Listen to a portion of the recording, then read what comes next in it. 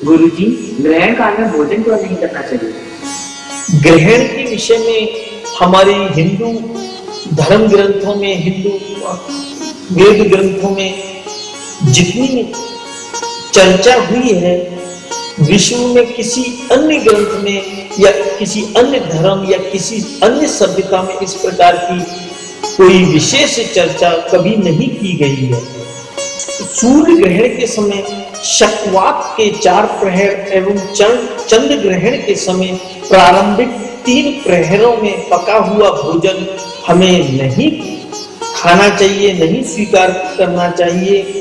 क्योंकि देवी भागवत में एक जगह कहा गया है कि सूर्य ग्रहण या चंद्र ग्रहण के समय भोजन करने वाले मनुष्य जितना भोजन खाता है, उतने वर्षों तक उसे अरंतुब नामक नरक में निवास करना पड़ता है। उसके बाद वह पेट के रोग से पीड़ित होकर, काना और दांतों से रहित होकर जीवन व्यतीत करता है।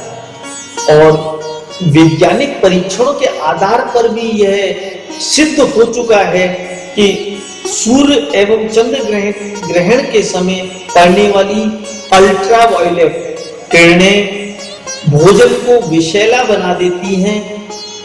इसलिए ग्रहण काल में या ग्रहण काल से पहले पके हुए भोजन को हमारे धर्म ग्रंथों में खाने के लिए मना किया गया है।